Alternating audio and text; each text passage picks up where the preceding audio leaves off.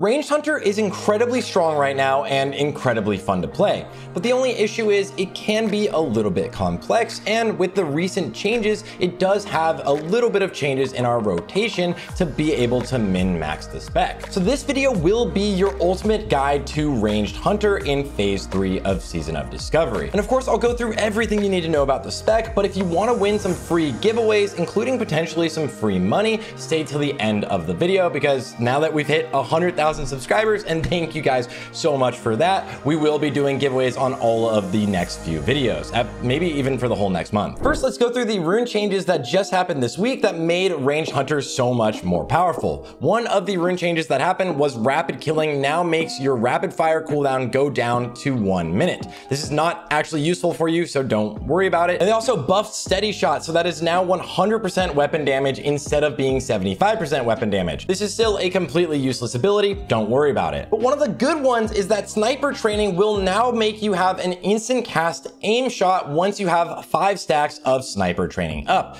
You can see I have a weak aura tracking this now. So with five stacks of sniper training up, my aim shot ability is going to be instant.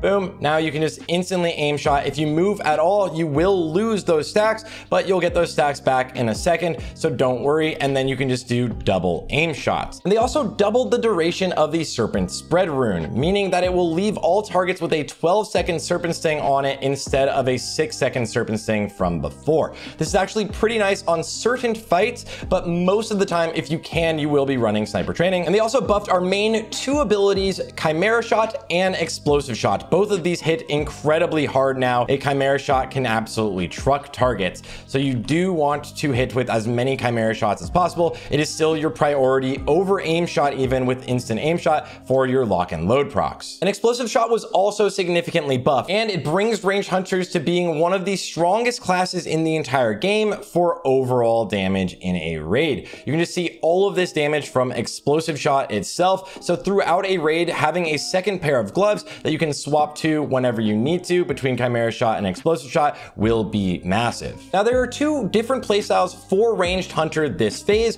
and all of them will have the exact same specialization, as you're seeing in the background, but you can actually swap out one point in Improved Aspect of the Hawk for one more point in Improved Serpent Sting. This can be reliable for you, but it is not necessary, and you might want that higher chance of proccing Improved Aspect of the Hawk. And where the variance comes is all in the rune slot. Whether you're playing Heart of the Lion or Master Marksman and Focus Fire, or if you are playing the Lone Wolf build and then you will swap to TNT. This means you will not have to worry about your Focus Fire stacks, and it is also slightly higher DPS. But if you do have to bring the King's buff to your raid, you have to play Heart of the Lion, in which case you are playing Focus Fire. And the difference between the DPS in the two builds is very small, around 30 DPS for a two minute fight, which obviously gets a little bit more on a shorter fight. The priority for both specs is going to be to use your lock and load procs to cast double chimera shots, but the rotation changes because if you have a pet, you want to maintain focus fire. This is the rune that gives you 15% extra attack speed and your pet 30% extra attack speed as long as you have five stacks of it up. And it's worded weird. It says that your pet just builds these stacks by attacking the boss, but it actually only builds stacks by using an attack that spends focus. And so the only ability we want our pet to be casting during the fight is going to be Claw rank 7. This is because it has no cooldown and it costs the least amount of focus, giving us the fastest stacks of focus fire. You can see right now, each time my pet uses his focus,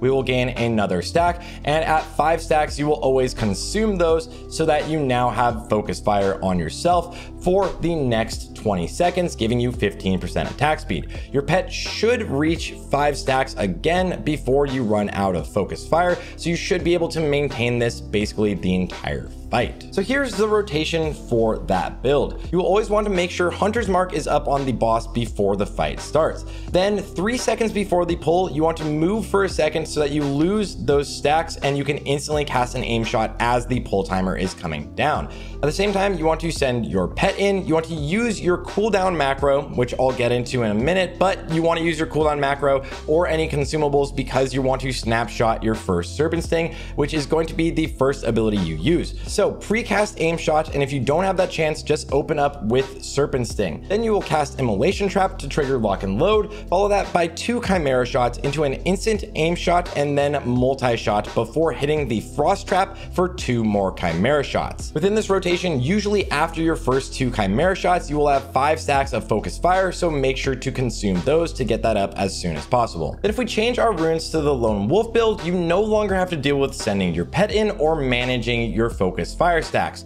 That's essentially most of it. It kind of actually frees up a GCD within the rotation, but for the most part, the rotation is the same. So what we're gonna do again is start the fight with your Hunter's Mark, then move three seconds before pulling to be able to precast an aim shot. Now it will be Serpent Sting, Fire Trap, Chimera, Chimera, Aim Shot, Multi-Shot, Ice Trap, Chimera, Chimera, aim shot, and this is your open GCD because we don't have another button to press yet, and then fire trap and repeat. And that's the rotation. I highly suggest going down to the target dummies at the bottom of Shimmering Flats to be able to practice your rotation, just get used to it, and it will be very easy. But if you're not used to it, it can be a little bit complex. As for pets, their attack speed does not matter, but you do always want a cat and you want it to always have claw rank 7. Their attack speed only matters if your tank is using Gift of Arthas, the consumable, but it's within very, very few DPS, so it actually means pretty much nothing. If you are using a pet, make sure to do the Sunken Temple quest for the Devilsaur Tooth. This trinket just makes it so that your pet's next ability is a crit. It's not very much damage, but it's a little bit of extra damage because once you swap this trinket off after you use it, it still maintains that effect. So use it right now, swap trinkets, and you can look at my pet right here. It still has Primal Instinct, which means its next attack will be a crit instantly. This is nice for Beast Mastery Hunters because it makes them have flurry stacks instantly, but it's just a little extra damage. You can maintain Focus Fire before a pull if you get the stacks up before the pull and then swap to your main bracers that have a different rune on them. You actually will start the fight with 15% extra attack speed. Just make sure you dismiss your pet, of course, for Lone Wolf if you're playing that build. And you can get your best in slot arrows, the Dream Imbued arrows, outside of any Nightmare Incursion You just need to trade in some Mithril Gyro shots to buy these one for one. And as for raid buffs, of course you want the Darkmoon Faire buff, the Sunken Temple buff, and the Songflower buff. But as for raid debuffs, you might be surprised to know that the most powerful debuff for you is going to be the Dream State or Storm Strike debuff. This makes the target take 20% extra nature damage. You absolutely want this in your raid, so you need a Boomkin or a Shaman,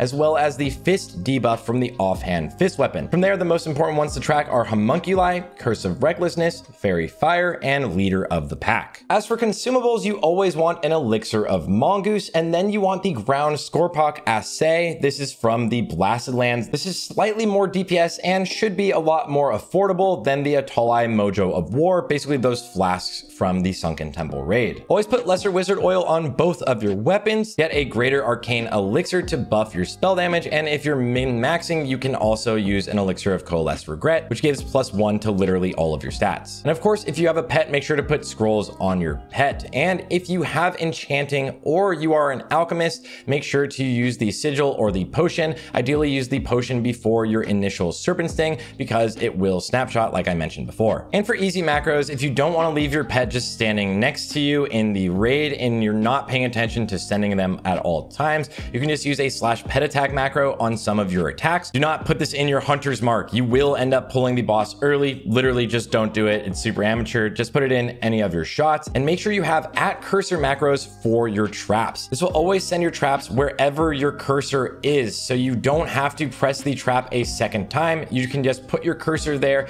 and your traps will instantly be set. And the last real important macro you should have is just a cooldown macro tying in all of your cooldowns so you can use these as you're about to burst. Just press it once. Ideally, if you have a consumable like extra spell spell power, then you are going to be using this before that Serpent Sting right at the beginning of the fight and just start blasting. As for auras, you can see I have this Hunter HUD here. You can just exclamation point WA in my Twitch chat to grab it. I can probably link that also in the description of the video, but this is just tracking everything. This weak aura showing my GCD is just to show you guys the rotation, but the weak auras that are tracking that I have instant casts of aim shot moving, the weak auras tracking everything that matters to you as well are just all within one HUD that basically shows you everything, right? If you don't have True Shot Aura, it'll tell you you need True Shot Aura. It'll also tell you what aspect you're in, so you'll know that you need to swap out of your aspect. You can just move all of these things around very easily, but this is all within one Weak Aura HUD. And that should cover everything you need to know about Range Hunter in Season of Discovery Phase 3. If you have any questions, of course, make sure to come by the Twitch channel.